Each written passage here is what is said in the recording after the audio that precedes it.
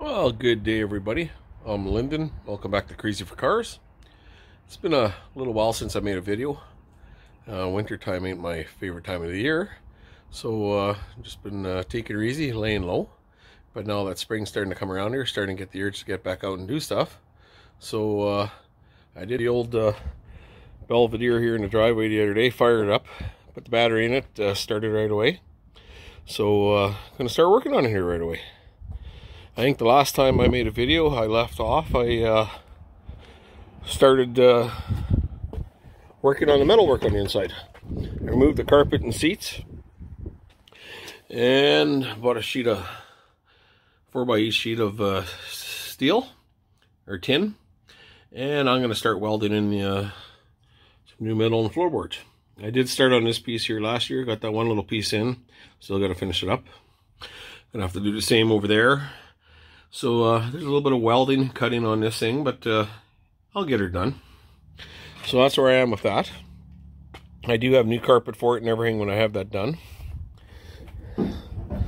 Body-wise, I'm going to have to do a little bit of work. I am going to cut out uh, a little bit of rust here and there on it. There ain't much, but I will be cutting out the uh, the rust, smoothing her out, uh, straightening it up. I'm not going to paint it or none, but just going to fix up the rust on it. I do have uh, new tie rod ends, ball joints, uh, idler arm for the front end. I'll be putting that in there. One of the next main projects, I'm going to be pulling the transmission out and getting that rebuilt. I have a guy lined up to rebuild the transmission. Uh, doesn't want to shift in a second or third properly or whatever, so uh, I figured instead of screwing around, I might as well just get her done. Uh, otherwise, uh, I do have some new window felts for it. I'm going to put the outside ones on right away. In the meantime, uh, with the interior being gutted, I did go and uh, I got the seats reupholstered.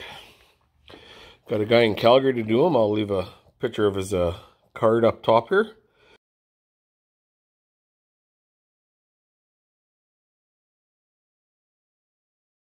I do have a Mac uh, dash panel for the back, a new one.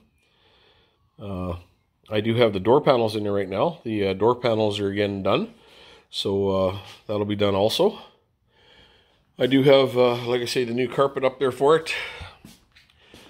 Uh, the engine's working great, so uh, nothing to do there except set the valves. I got a new starter for it. I'm going to put that on there too. All the suspension parts. So I'm going to be busy.